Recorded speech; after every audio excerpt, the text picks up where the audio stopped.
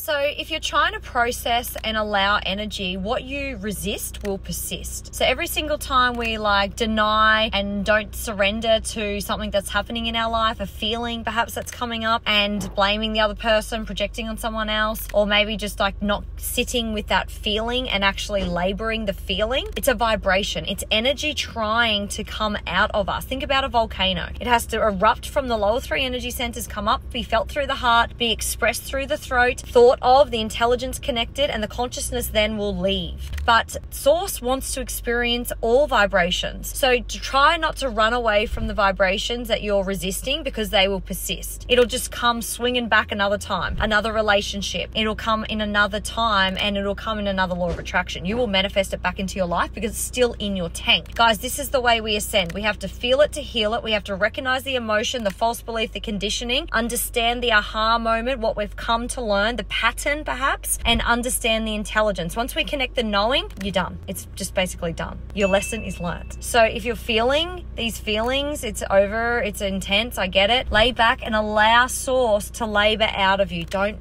resist. Don't bend over. Open up and expand and say yes to